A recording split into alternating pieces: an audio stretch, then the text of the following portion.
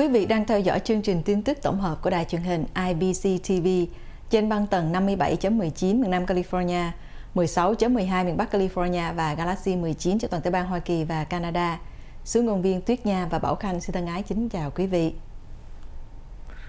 Như thường lệ, sau đây chúng tôi xin mời quý vị cùng đến với phần điểm tin. Nga theo sát những hệ lụy khi Phần Lan và Thụy Điển gia nhập NATO.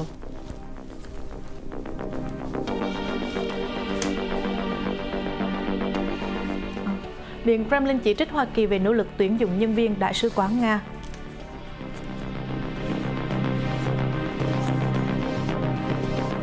Moscow tiếp tục sản xuất xe Moskvik khi Renault bán cổ phần trong Autozas của Nga. Nam Hàn tuyên bố sẽ nỗ lực hết sức giúp đỡ Bắc Hàn bị bùng phát dịch bệnh COVID-19.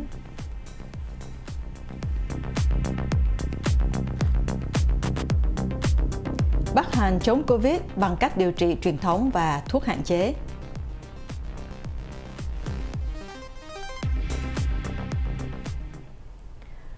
Sau đây chúng tôi xin mời quý khán giả cùng đến với bản tin chi tiết đầu tiên liên quan tới Ukraine có phần trình bày của Dương ngôn viên Bảo Khanh.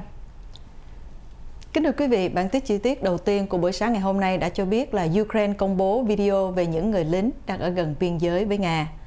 Bộ Quốc phòng của Ukraine vào hôm Chủ nhật đã công bố một đoạn video cho thấy là các binh sĩ đang ở khu vực Kharkiv và gần với biên giới Ukraine và Nga. Đoạn phim đã cho thấy là những người đàn ông mặc quân phục tập trung gần một cột mốc ranh giới màu xanh và màu vàng và đã thực hiện những cử chỉ tay ăn mừng khi một người đàn ông đã nói rằng họ đã đến biên giới. Thống đốc của tỉnh Kharkov, Oleg Singapore và ngày hôm nay cũng đã ra thông báo là các đơn vị của Ukraine đã đẩy lùi lực lượng của Nga ra khỏi ngoại ô của thành phố lớn thứ hai của đất nước và truy kích tới sát biên giới với Nga. Nga chưa bình luận về thông tin này. Phía Ukraine gần đây cũng đã liên tục tuyên bố là phản công, đẩy lùi lực lượng của Nga ra khỏi Kharkov. Viện nghiên cứu chiến tranh ISW có trụ sở tại thủ đô Washington của Hoa Kỳ và hồi tuần trước cũng đã nhận định Ukraine đã thắng ở Kharkov và lực lượng của Nga đang tìm cách rút lui khỏi thành phố này. ISW, ISW cũng đánh giá là các đơn vị của Nga nhìn chung là không nỗ lực chống đỡ với các đợt tấn công của Ukraine trong nhiều ngày qua, ngoại trừ một số trường hợp ngoại lệ. Sau hơn 80 ngày giao tranh, chiến sự tại vùng Donbass trở thành một cuộc chiến đấu giành co giằng co giữa Nga và Ukraine, đặc biệt là tại các khu vực có địa hình hiểm trở. Giám đốc tình báo của Hoa Kỳ Arvil Hans đã nhận định cả Nga và Ukraine đều tin họ có thể tiếp tục đạt được tiến bộ về mặt quân sự. Do đó chúng tôi chưa thấy con đường đàm phán có khả thi nào về phía trước, ít nhất là trong ngắn hạn. Kremlin chỉ trích Hoa Kỳ về nỗ lực tuyển dụng nhân viên đại sứ quán của Nga. Kremlin cho biết những nỗ lực được báo cáo của FBI và CIA tuyển dụng nhân viên đại sứ quán Nga ở Washington là không chấp nhận được. Anatoly Antonov, đại sứ Nga tại Washington nói với truyền thông rằng các nhân viên đại sứ quán đang bị đe dọa bằng bạo lực thể chất và thường được hỏi ở khu vực lân cận đại sứ quán để làm việc cho Cục Điều tra Liên bang hay cơ quan tình báo trung ương. Đại sứ Nga còn cáo buộc những đặc vụ từ cơ quan an ninh Hoa Kỳ đang túc trực bên ngoài sứ quán và tìm cách tiếp xúc với những nhà ngoại giao Nga, cung cấp số điện thoại của CIA và FBI thuyết phục họ liên lạc. CIA, FBI, Văn phòng Giám đốc Tình báo Quốc gia và Bộ Ngoại giao Hoa Kỳ đã từ chối bình luận về thông tin này. Trong khi đó, phát ngôn viên Kremlin Dmitry Peskov nói Nga chia sẻ mối lo ngại của người đứng đầu cơ quan ngoại giao của Nga tại Hoa Kỳ về hành vi của những cơ quan tình báo Hoa Kỳ trong bang giao với Nga và nhân viên trong phái bộ của Nga. Nga xem đó là điều không chấp nhận được. Moscow tiếp tục sản xuất xe Moskvich khi Renault bán cổ phần trong Avosvaz của Nga.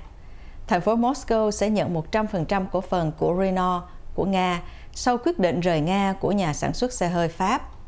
Renault cho biết vào hôm thứ Hai, công ty cũng sẽ chuyển nhượng phần lớn cổ phần của hãng sản xuất ô tô Autovas cho một viện khoa học của Nga, đồng thời cho biết thêm rằng thỏa thuận bao gồm một lựa chọn mua cổ lại cổ phần trong 6 năm. Thị trưởng của Moscow là Sergei Sobanin đã cho biết trong một tuyên bố, ông quyết định tiếp quản nhà máy Renault Nga như một tài sản của thành phố. Ông hứa nhà máy sẽ tiếp tục sản xuất xe hơi với nhãn hiệu là Moscovich lịch sử. Renault kiểm soát 68% của Autovaz, là nhà sản xuất xe hơi lớn nhất của Nga, với thương hiệu là Lada hàng đầu của nước này, nhưng đang chịu áp lực rút khỏi đất nước kể từ khi Nga bắt đầu chiến dịch đặc biệt ở Ukraine. Nhờ cho Autovaz, Nga là thị trường lớn thứ hai của tập đoàn Renault sau châu Âu vào năm ngoái, với khoảng nửa triệu xe đã được bán ra. Theo thỏa thuận thì Renault có thể mua lại cổ phần của Autovaz. Thỏa thuận cũng bao gồm nhà máy của Renault ở Moscow. Không có chi tiết tài chính nào đã được cung cấp.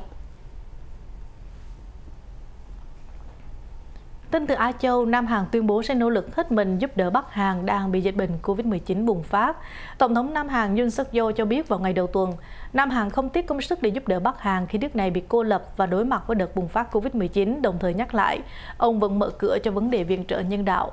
Ông Yoon nói trong bài phát biểu trong phiên họp toàn thể Quốc hội nếu Bắc Hàn đáp ứng với sự hỗ trợ của Nam Hàn, Nam Hàn sẽ giúp hết sức cung cấp những dự trữ thuốc, bao gồm vaccine, thiết bị y tế và cả nhân viên y tế. Bắc Hàn lần đầu tiên thừa nhận vào tuần qua họ đang chiến đấu với đợt bùng phát dịch bệnh COVID-19, trong đó các chuyên gia đưa ra lo lắng virus này tàn phá đất nước với nguồn cung cấp y tế rất hạn chế và không có chương trình vaccine. Riêng trong bài phát biểu, ông Jun cho biết ông sẽ thảo luận với Tổng thống Hoa Kỳ Joe Biden về cách thức tăng cường hợp tác trong chuỗi cung ứng toàn cầu thông qua hoạt động kinh tế Ấn Độ-Thái Bình Dương. Tổng thống Biden dự trù đến thăm đất nước Nam Hàn vào thứ Sáu. Bắc Hàn chống Covid bằng cách điều trị truyền thống và thuốc hạn chế. Với việc không tiêm vaccine coronavirus, Bắc Hàn dường như đang chiến đấu với đợt bùng phát đầu tiên bằng sự kết hợp của thuốc giảm đau và kháng sinh thông thường, cũng như là các biện pháp khắc phục tại nhà như là súc miệng nước muối và uống trà thảo mộc. Bắc Hàn là một trong hai quốc gia duy nhất trên thế giới, quốc gia còn lại là Eritrea, vẫn chưa bắt đầu chiến dịch tiêm chủng và cho đến tuần trước cũng đã khẳng định là nước này không có Covid. Trong một cuộc phỏng vấn trên truyền hình nhà nước vào hôm thứ Hai, một giới chức y tế đã cho biết nước này đã chuyển từ hệ thống cách ly sang hệ thống điều trị để giải quyết hàng trăm ngàn trường hợp bị nghi là sốt được báo cáo mỗi ngày. Truyền thông nhà nước cũng đã khuyến khích bệnh nhân sử dụng thuốc giảm đau và hạ sốt như là paracetamol và ibuprofen và thuốc kháng sinh như là amoxicillin để điều trị COVID-19 và các triệu chứng của nó. Họ cũng khuyến khích mọi người súc miệng bằng nước muối hoặc là uống trà kim ngân, hoa hoặc là trà lá liễu 3 lần một ngày. Trước đây thì các phương tiện truyền thông nhà nước cũng đã đề nghị sử dụng rễ cây ngưu bàn như là một phương pháp chữa bệnh, trong khi đánh giá thấp về vaccine không phải là loại thuốc chữa bách bệnh. Thưa quý khán giả, như thường lệ sau đây sẽ là phần bảo trợ thương mại của những cơ sở kinh doanh đồng hành với đài IBC. Chúng tôi sẽ trở lại để gửi đến quý khán giả những tin tức nổi bật liên quan tới à, bão cát đã hoành hành tại Iraq như thế nào, hay người đàn ông lái xe xuống Spa của Rome đối mặt với tội danh gì, và bốn người vận chuyển 115 bánh heroin từ Lào về Việt Nam đã bị bắt ra sao. Xin mời quý khán giả đón xem trên đài truyền hình IBC.